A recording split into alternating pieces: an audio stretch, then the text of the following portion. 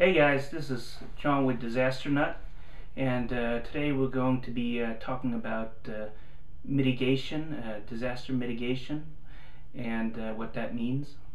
Now, mitigation is the effort to reduce loss of life and property by lessening the impact of disasters.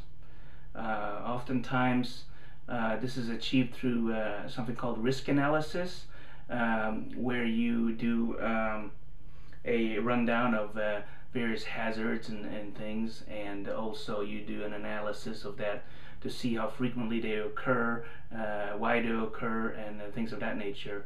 And that will provide a foundation for mitigation activities that will reduce that risk. I will give you a, uh, give you a little example that that uh, most of us can relate to. Um, think of uh, Okay, let's think of a kind of like a highway mitigation. You, you've got a, a highway uh, that's on a curving road, um, a, a, coastal road, and it, it curves. There's a sharp curve at the end, and um, let's say a lot of cars go off that curve, um, uh, maybe 20 cars a year. So obviously, using risk analysis, you can see it's a, it's a pretty hazardous turn there, and 20 cars a year, that's a lot of people dying. Um, and so uh, the mitigation planners might be thinking, well, what can we do to mitigate people going off the cliff? Well, first of all, uh, what's the speed limit? Well, the speed limit of this particular road it might be 65 miles per hour. All right, well, why don't we, a few miles up the road, why don't we slow the traffic down? So we'll have signs uh, 50 miles per hour, uh, getting closer, 40 miles per hour, and uh, closer to the turn, 35 miles per hour okay? And uh, on top of that why uh, why don't we do those blinking signs uh, with the curve warning so people can see that there's a big curve coming up?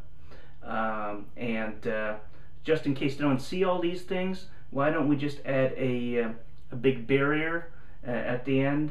One of those um, I guess those metal barriers that you've seen on, on side of bridges and things like that. Let's put one of those up so that if they miss all the signs uh, they, they will hopefully hit that barrier and not go off the cliff into the ocean.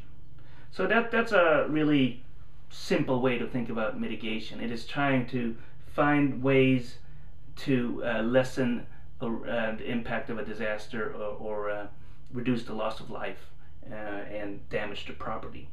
Um, another example of mitigation in terms of fire prevention would be uh, installing maybe a fire detector in your home I know here in Illinois it's the law that you have to have a fire detector installed in your home. You also need to have a carbon monoxide detector installed in your home. And I did a video on that uh, on my other channel about uh, the importance of uh, smoke detectors, so I won't go into that here. Um, but uh, in terms of uh, mitigation activities, uh, why do mitigation activities? Well, studies have shown that for every uh, dollar we spend on mitigation activities, we actually save um, people four dollars. So um, we're actually saving money by doing mitigation activities and, uh, making sure that people are aware of, of these things as well. Um, also, let's see here. Um, about you know, for example, the rigorous building standards adopted by 20,000 communities across the country are saving the na nation more than 1.1 billion dollars a year in preventable flood damage, and uh, that's a good thing. So, um, you know, mitigation in terms of flooding, you've got that uh, national flood insurance program or whatever that's run by the, the government, and uh, I haven't really looked into that a lot, but apparently in some areas it's been really effective. Um, and uh, some areas, you know, they have uh, uh, channeled their waterways and stuff like that, so areas are not are not flooded out anymore. Uh, in certain cases, they've even gone out. Governments have even gone out and bought up all the houses in areas that are frequently uh, flooded out. Uh, but let's let's talk a little more about um, mitigation, and I'll, I'll post the links to some of these things that I have um, found uh, on the sidebar there.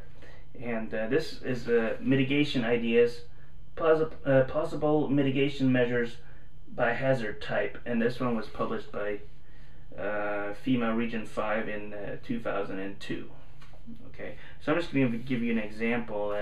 I know earthquakes is pretty pretty common nowadays in the news at least or being reported so what is a earthquake mitigation activity what does that look like well one of them is uh, seismic hazard mapping learning where all the uh, tectonic plates are and if you're living in one of those high risk areas.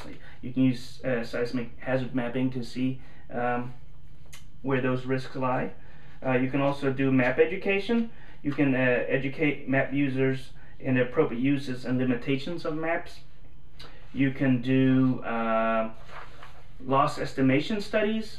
Um, after seismic hazards have been identified, planners can create an earthquake scenario to estimate potential loss of life and injuries, the types of potential damage, and existing vulnerabilities within a community. Uh, uh, scenarios can be particularly useful in predicting uh, lifeline performance, i.e., the sustainability of critical public services and systems such as electricity, water, and roadways. This knowledge can be used to develop earthquake mitigation uh, priorities. Uh, so yeah, that was a little long. Uh, sorry about reading that. But um, the other mitigation uh, activities uh, for earthquakes could be uh, strengthening building codes. I know California has some of the harshest and toughest building codes in the nation. So um, that's also part of mitigation activity. And I hope that this video was a little instructive to you about mitigation, uh, but we'll, we can go in further into details uh, later on.